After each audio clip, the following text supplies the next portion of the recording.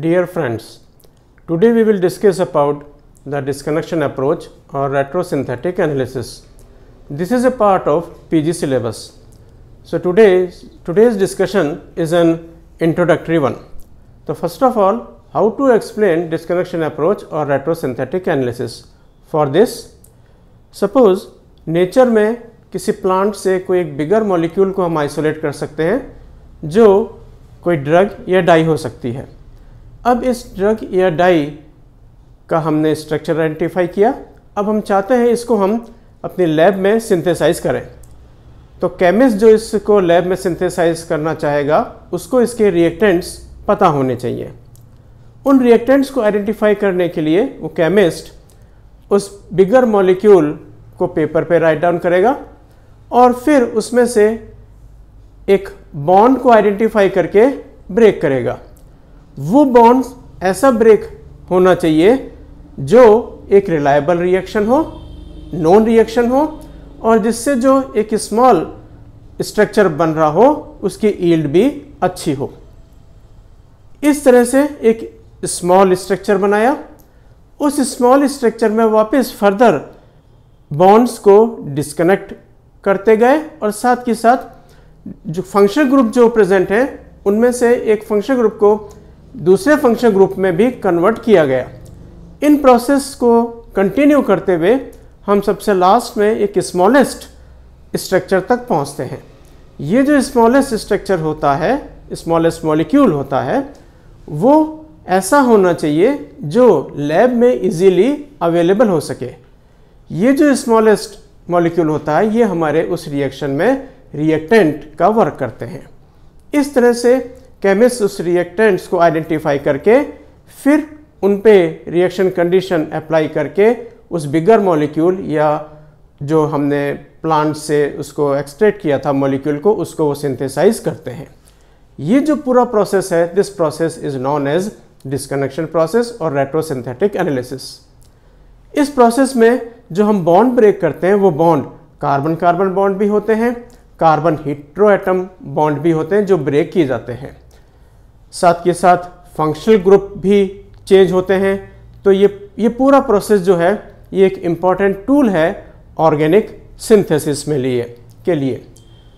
तो ये जो ऑर्गेनिक सिंथेसिस में हम इस तरह से इसको प्लानिंग करते हैं, एक बिगर मॉलिक्यूल को स्मॉलर मॉलिक्यूल में कन्वर्ट करना, जिससे कि हम उस बिगर मॉलिक्यूल को लैब में सिंथेसाइज कर सकें, इस प्लानिंग के कई बेनिफिट्स हैं।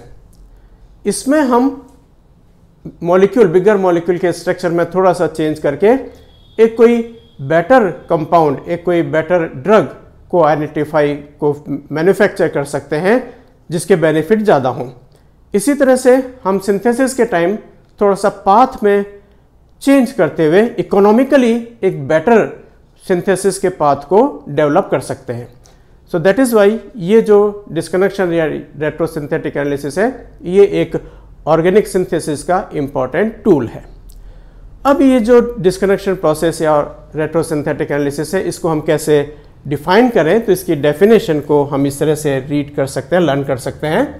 डिस्कनेक्शन अप्रोच और retrosynthetic analysis a logical approach for designing organic synthesis which involves breaking down of the target molecule into available starting materials by imaginary breaking of bonds that is known as disconnection and or by functional group interconversion is known as disconnection approach or retrosynthetic analysis और retrosynthesis और synthesis backwards. तो ये जो है वो एक disconnection approach को हम इस तरह से डिफाइन कर सकते हैं इसमें there is a word target molecule target molecule का मतलब है कि जो लैब में हमने रिएक्टेंट से जो मॉलिक्यूल को सिंथेसाइज किया है और फिर जिसका हम डिस्कनेक्शन शो कर रहे हैं that is known as target molecule तो इस तरह से हम ये एक डेफिनेशन को यूज़ में ले सकते हैं। अब कुछ एग्ज़ाम्पल से हम इस रेट्रोसिंथेटिक एनालिसिस को एक्सप्लेन करें।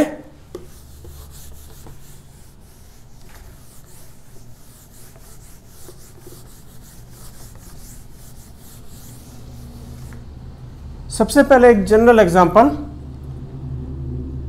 से हमारे पास एक मॉलिक्यूल को आइडेंटिफाई किया, उसको एक्सट्रैक्ट किया दैट इज़ जेड अब जब इसको हम डिस्कनेक्ट करेंगे तो डिस्कनेक्शन प्रोसेस के लिए हम इस तरह का एरो जो है वो यूज़ में लेते हैं। ये जो एरो है, इसको हम कहते हैं रेट्रोसिंथेटिक एरो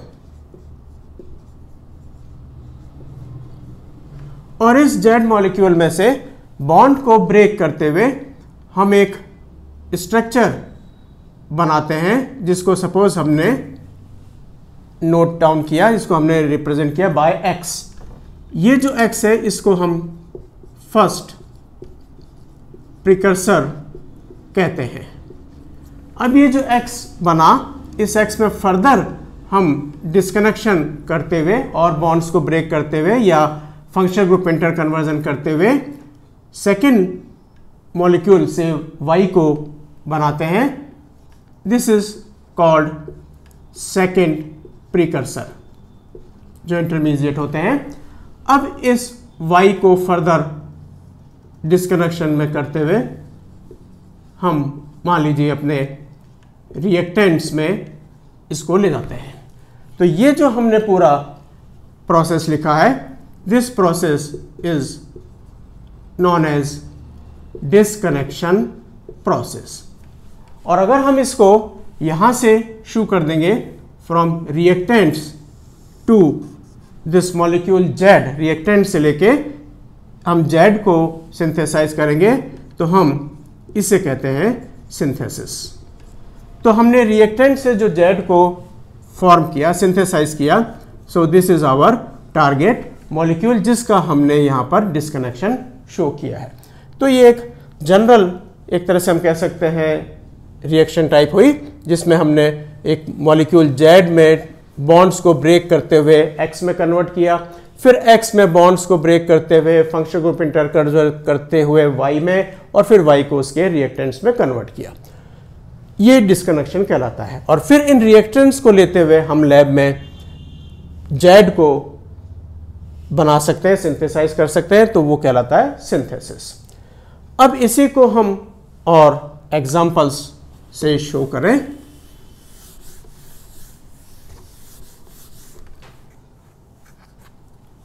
से हमारे पास स्ट्रक्चर है.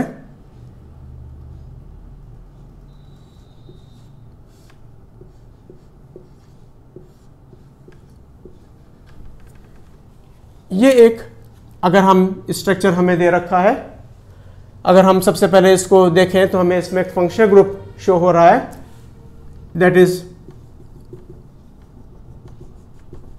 C O O this is ester group तो ये जो मॉलिक्यूल है, इसका हमें डिस्कनेक्शन शो करना है।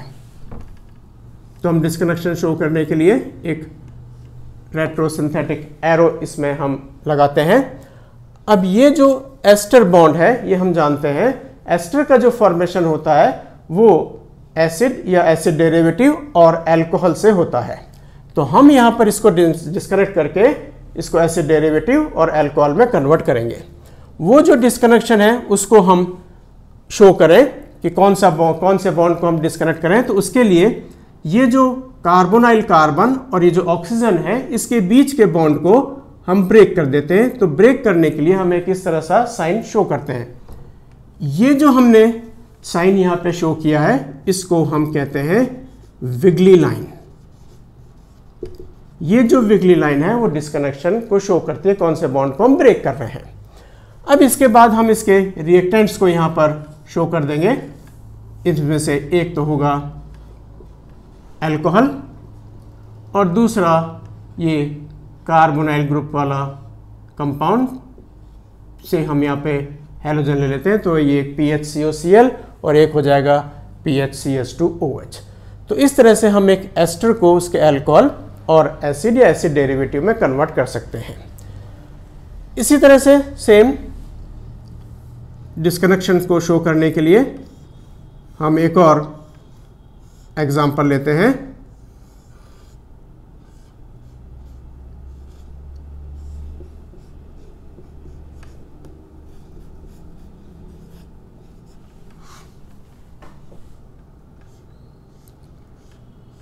सपोज़ ये इस तरह का हमें मॉलिक्यूल या स्ट्रक्चर दे रखा है। अब हम इसमें आइडेंटिफाई करें तो एक बॉन्ड हमें शो हो रहा है that is C O and N H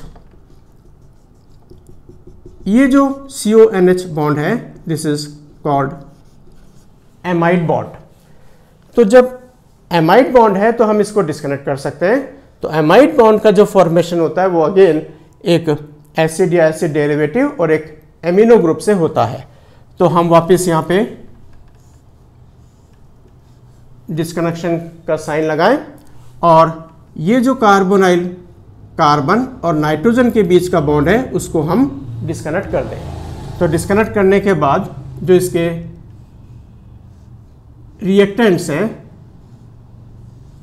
जिससे ये एमाइड का फॉर्मेशन हुआ है, उसको हम शो कर दें। तो NO2 this is see again मैं यहाँ पर एक हेलोजन लगा देता हूँ। और जो सेकेंड पार्ट इसका स्ट्रक्चर का बनेगा एमिनो ग्रुप आ जाएगा इसमें। इसको हम एमीन में कन्वर्ट कर देते हैं। तो ये जो हो गए, वो एक तरह से रिएक्टेंट्स हो गए। ये भी रिएक्टेंट्स हो गए।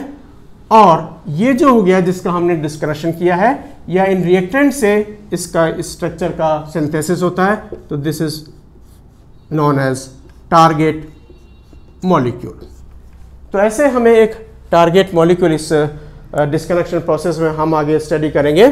ऐसे टारगेट मॉलिक्यूल को हम उसके रिएक्टेंट्स में कन्वर्ट करेंगे और फिर सिंथेसिस के टाइम इन्हीं रिएक्टेंट से हम उस टारगेट मॉलिक्यूल को सिंथेसाइज करते हुए शो करेंगे। तो इन शॉर्ट जो डिस्कनेक्शन अप्रोच है, वो एक बिगर मॉलिक्यूल एक टारगेट मॉलिक्यूल को उसके रिएक्टेंट्स में हमें कन्वर्ट करना है और फिर उन रिएक्टेंट से हमें उसी टारगेट मॉलिक्यूल को सिंथेसाइज होते हुए शो करना है। Thank you